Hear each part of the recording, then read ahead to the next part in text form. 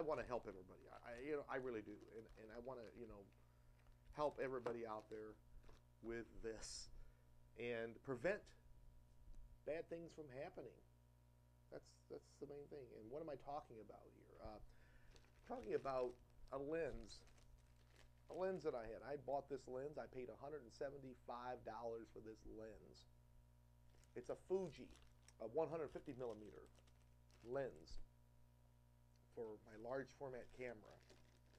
Every speed was working on this lens. Every speed, the lens glass is clear. Every speed is working except for the bulb mode, and I like to use the bulb mode sometimes. And it was sticking. And the trigger would not come back up.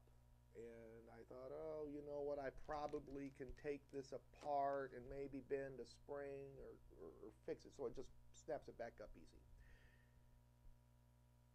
Well, I took it apart. Next thing you know, I get it apart, and, and, then I have shutter blades falling out on my table.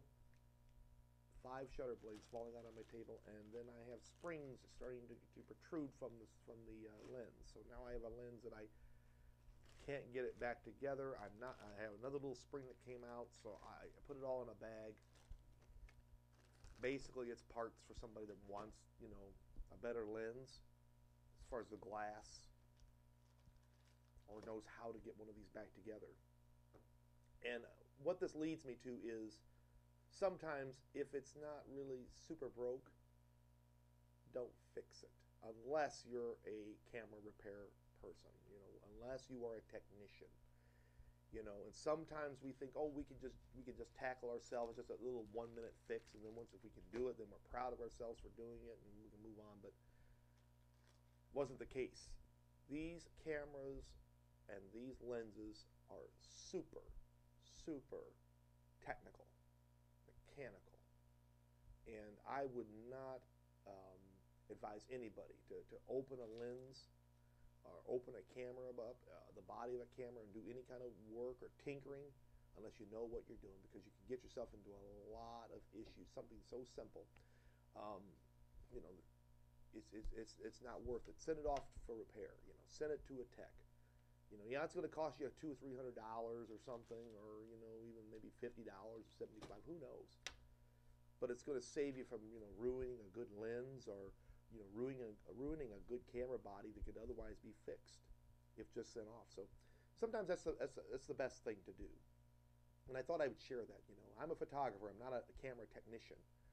You know, and uh, so uh, from now on, I'm keeping my hands off the, the, the, the, camera bodies or the lenses, and I'm not doing anything with them because um, that is something that a, a, a, person that's a professional that knows and is trained to do these things or has learned how to do these things, you know.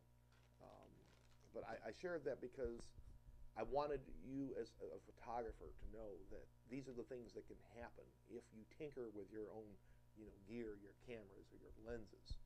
Um, that you have to be very careful because you know we can do more damage uh, than uh, than is necessary and uh, you know, ruin an entirely you know, good piece of equipment. So always reach out to a professional. If you don't know a professional, reach out. There's Facebook groups. Uh, there's uh, you know Google searches and so forth, and you can find somebody that'll that'll work on you know these lenses, work on cameras, and so forth. Um, but I just thought I would share that. So uh, Thanks for uh, joining me for the Shutter Chats this week. I know there was not a lot of information, but it was, I think, something very important to talk about. Uh, leave your comments below as well. Thanks for joining me, and until next time, later.